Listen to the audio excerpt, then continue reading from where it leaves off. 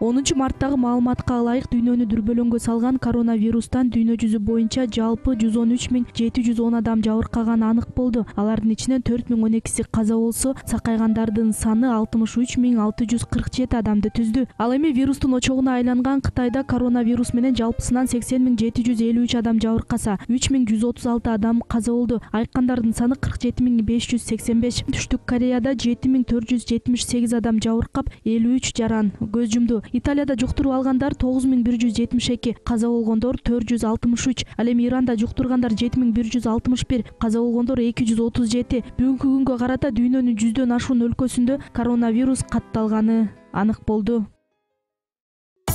Орчундуу окуялардан кабардар болуу үчүн биздин каналга жазылыңыз